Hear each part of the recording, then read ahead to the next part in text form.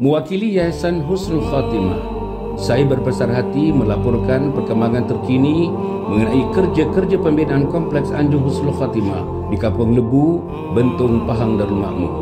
Seperti yang sedia diketahui, antara matlamat utama pembinaan kompleks adalah untuk memberi pendidikan dan terbiah supaya umat Islam dapat mengakhirkan hayat dalam husnul khatimah atau mati yang baik dengan melafazkan kalimat syahadah kepada yang berhasrat untuk menjadi penghuni kompleks bagi program jangka panjang dan menyertai program-program jangka pendek boleh terus menghubungi nombor yang dipaparkan di skrin. Kami akan membuat laporan kemajuan dari masa ke semasa bagi memastikan semua pihak mendapat maklumat terkini mengenai usaha murni ini. Doakan kami di yayasan supaya kalau usaha kami dipermudahkan oleh Allah Subhanahu wa taala. Sekian, wassalamualaikum ورحمة الله وبركاته.